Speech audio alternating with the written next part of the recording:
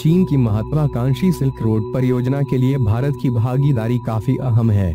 नई दिल्ली के रुख का असर उन कुछ देशों के फैसले पर पड़ेगा, जो अरबों डॉलर की इस परियोजना में हिस्सा लेने के इच्छुक हैं। यह बात सोमवार को चीन के सरकारी अखबार ने कही।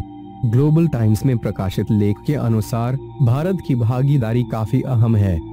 यह न सिर्फ़ भारत की आबादी, श्रम संसाधन और बाज़ार, बल्कि दक्षिण एशिया और हिंद महासागर में उसके राजनीतिक प्रभाव के लिहाज से भी अहम है।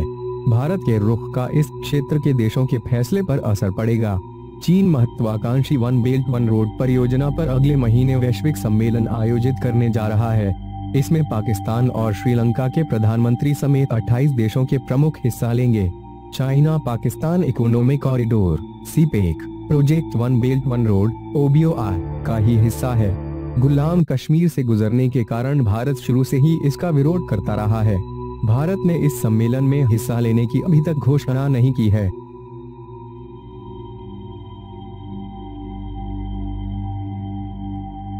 आप यह वीडियो देख रहे हैं स्टडी अकेडमी यूट्यूब चैनल पर। आपको यह वीडियो कैसा लगा हमें ज़रूर बताएँ। आप सभी के सुझावों से हम लगातार सुधार कर रहे हैं। आप चैनल को सब्सक्राइब कर सकते हैं जिससे सभी नए वीडियो की जानकारी आपके ईमेल पर भेज दी जाएगी।